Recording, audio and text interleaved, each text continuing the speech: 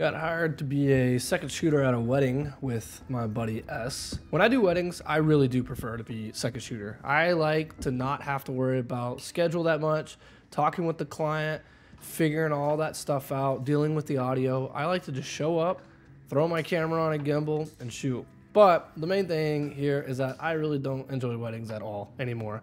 I used to do weddings all the time. That used to be what paid my bills. I used to love the creativity behind a wedding. I used to love editing weddings, but that has changed quite a bit. And I kind of took this job uh, because I wanted to challenge myself again to kind of go to a place where I did enjoy it because I knew that I was going to have a tough time getting creative if I'm just not passionate about it. I knew that this was going to be important for me to kind of make myself, you know, go back to the drawing board with this stuff. And I kind of wanted to challenge myself to see how I thought with wedding filmmaking now as opposed to years ago when I was doing this stuff. So here I'm just getting uh, the gimbal balance, which actually I did this all wrong. S had showed me. It's been so long since I've really used a gimbal to be honest, and I was balancing this completely incorrectly. The motor kept giving out. I couldn't figure it out why, and S showed me that I completely had the thing way off, but it's okay. We learned something. So showing up to this shoot,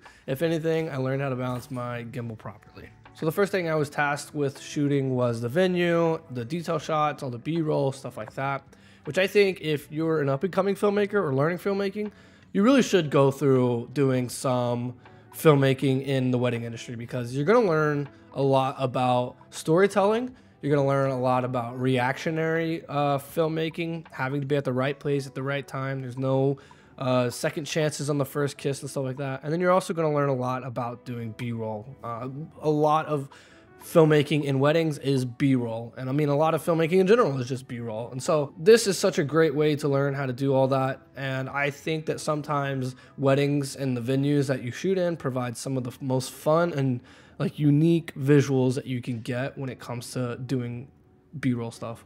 So S is miking up the groom now. They're fixed to do their first look. He's putting on the tentacle sync. What's cool is that he can use the app on his phone to monitor the audio. So it's it's really kind of a nice little system. And then it also has time code in there. Again, gathering more B-roll. S is kind of getting everybody ready. And then I'm just going to be shooting around them and the photographer. And during walkdowns, I was told to basically just grab a shot of everybody walking down. And then once the bride came out, I needed to wrap around.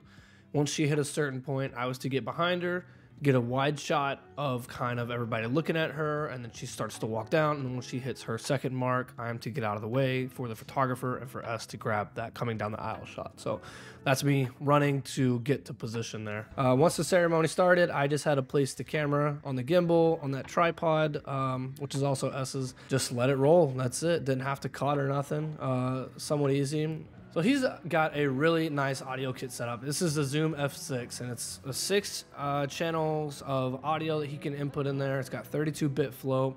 And again, he basically is just going in there, plugging it in to get the speeches and the music. And then he has his Aputure LS60Xs, I believe, spotlighting and lighting up this event, which was really nice for us, as you can see right here.